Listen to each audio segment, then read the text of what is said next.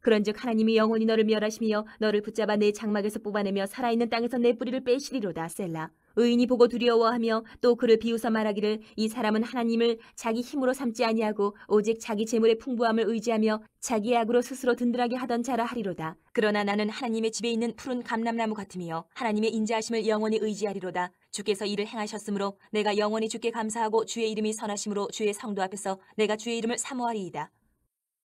여호수아가 죽은 후에 이스라엘 자손이 여호와께 여쭈어 이르되 우리 가운데 누가 먼저 올라가서 가나안 족속과 싸우리까? 여호와께서 이르시되 유다가 올라갈지니라. 보라 내가 이 땅을 그의 손에 넘겨 주었노라 하시니라. 유다가 그의 형제 시므온에게 이르되 내가 제비 뽑아 얻은 땅에 나와 함께 올라가서 가나안 족속과 싸우자. 그리하면 나도 내가 제비 뽑아 얻은 땅에 함께 가리라 하니 이에 시므온이 그와 함께 가니라 유다가 올라가며 여호와께서 가나안 족속과 브리스 족속을 그들의 손에 넘겨주시니 그들이 베섹에서 만 명을 죽이고 또 베섹에서 아도니 베섹을 만나 그와 싸워서 가나안 족속과 브리스 족속을 죽이니 아도니 베섹이 도망하는지라. 그를 쫓아가서 잡아 그의 엄지 손가락과 엄지 발가락을 자르매 아도니 베섹이 이르되 옛적에 70명의 왕들이 그들의 엄지 손가락과 엄지 발가락이 잘리고 내 상 아래에서 먹을 것을 줍더니 하나님이 내가 행한 대로 내게 갚으심이로다 하니라. 무리가 그를 끌고 예루살렘에 이르렀더니 그가 거기서 죽었더라 유다 자손이 예루살렘을 쳐서 점령하여 칼날로 치고 그 성을 불살랐으며 그 후에 유다 자손이 내려가서 산지와 남방과 평지에 거주하는 가나안 족속과 싸웠고 유다가 또 가서 헤브론에 거주하는 가나안 족속을 쳐서 세세와 아히만과 달메를 죽였더라. 헤브론의 본 이름은 기랄 아르바였더라. 거기서 나아가서 드빌의 주민들을 쳤으니 드빌의 본 이름은 기랴세벨이라. 갈렙이 말하기를 기랴세벨을 쳐서 그것을 점령하는 자에게는 내 딸 악사를 아내로 주리라 하였더니 갈렙의 아우 그나스의 아들인 온니엘이 그것을 점령하였으므로 갈렙이 그의 딸 악사를 그에게 아내로 주었더라 악사가 출가할 때에 그에게 청하여 자기 아버지에게 밭을 구하자 하고 나귀에서 내림에 갈렙이 묻되 네가 무엇을 원하느냐 하니 이르되 내게 복을 주소서. 아버지께서 나를 남방으로 보내시니 샘물도 내게 주소서 하매 갈렙이 윗샘과 아랫샘을 그에게 주었더라. 모세의 장인은 겐 사람이라 그의 자손이 유다 자손과 함께 종려나무 성읍에서 올라가서 아란 남방의 유다 황무지에 이르러 그 백성 중에 거주하니라.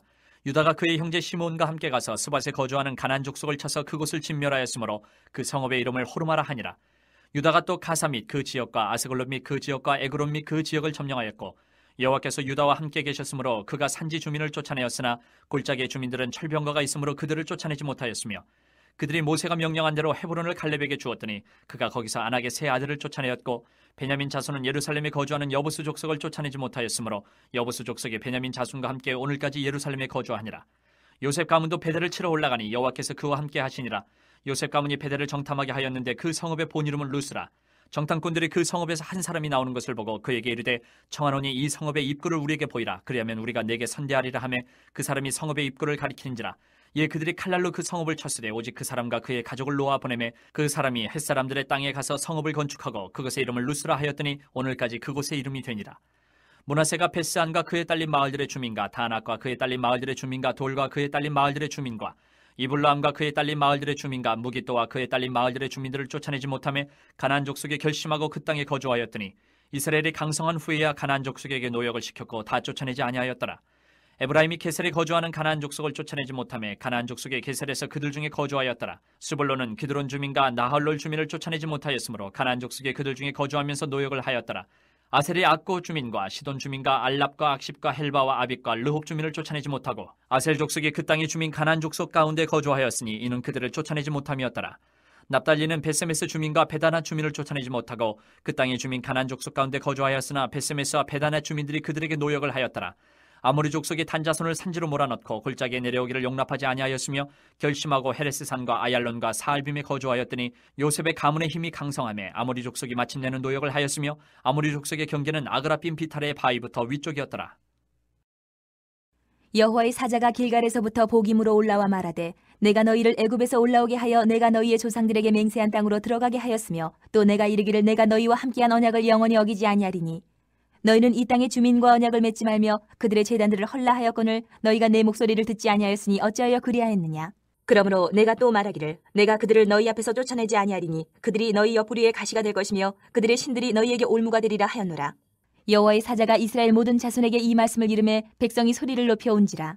그러므로 그것을 이름하여 복임이라 하고 그들이 거기서 여호와께 제사를 드렸더라 전에 여호수아가 백성을 보내매 이스라엘 자손이 각기 그들의 기업으로 가서 땅을 차지하였고 백성이 여호수아가 사는 날 동안과 여호수아 뒤에 생존한 장로들 곧 여호와께서 이스라엘을 위하여 행하신 모든 큰 일을 본 자들이 사는 날 동안에 여호와를 섬겼더라. 여호와의 종 눈의 아들 여호수아가 110세에 죽음에 무리가 그의 기업의 경내 에브라임 산지 가하스산 북쪽 딥낫 헤레스에 장사하였고 이에 비유로 이르시되 무화과 나무와 모든 나무를 보라 싹이 나면 너희가 보고 여름이 가까운 줄을 자연히 아나니 이와 같이 너희가 이런 일이 일어나는 것을 보거든 하나님의 나라가 가까이 온 줄을 알라. 내가 진실로 너희에게 말하노니 이 세대가 지나가기 전에 모든 일이 다 이루어지리라. 천지는 없어지겠으나 내 말은 없어지지 아니하리라. 너희는 스스로 조심하라. 그렇지 않으면 방탕함과 술 취함과 생활의 염려로 마음이 둔하여지고 뜻밖의 그날이 덫과 같이 너희에게 임하리라. 이날은 온 지구상에 거하는 모든 사람에게 임하리라. 이러므로 너희는 장차올 이 모든 일을 능히 피하고 인자 앞에 서도록 항상 기도하며 깨어 있으라 하시니라 예수께서 낮에는 성전에서 가르치시고 밤에는 나가 감남원이라 하는 산에서 쉬시니 모든 백성이 그 말씀을 들으려고 이른 아침에 성전에 나아가더라. 유월절이라는 무교절이 다가오매 대제사장들과 서기관들이 예수를 무슨 방도로 죽일까 궁리하니 이는 그들이 백성을 두려워함이더라. 열둘 중에 하나인 가룟인이라 부르는 유다에게 사탄이 들어가니 이에 유다가 대제사장들과 성전 경비대장들에게 가서 예수를 넘겨줄 방도를 의논하며 그들이 기뻐하여 돈을 주기로 언약하는지라 유다가 허락하고 예수를 무리가 없을 때에 넘겨줄 기회를 찾더라. 유월절 양을 잡을 무교절 날이 이른지라. 예수께서 베드로와 요한을 보내시며 이르시되 가서 우리를 위하여 유월절을 준비하여 우리로 먹게 하라. 여짜오되 어디서 준비하기를 원하시나이까? 이르시되 보라 너희가 성내로 들어가면 물 한 동이를 가지고 가는 사람을 만나리니 그가 들어가는 집으로 따라 들어가서 그 집 주인에게 이르되 선생님이 내게 하는 말씀이 내가 내 제자들과 함께 유월절을 먹을 계실이 어디 있느냐 하시더라 하라. 그리하면 그가 자리를 마련한 큰 다락방을 보이리니 거기서 준비하라 하시니 그들이 나가 그 하신 말씀대로 만나 유월절을 준비하니라. 매를 아끼는 자는 그의 자식을 미워함이라 자식을 사랑하는 자는 근실이 징계하느니라. 의인은 포식하여도 악인의 배는 줄이느니라.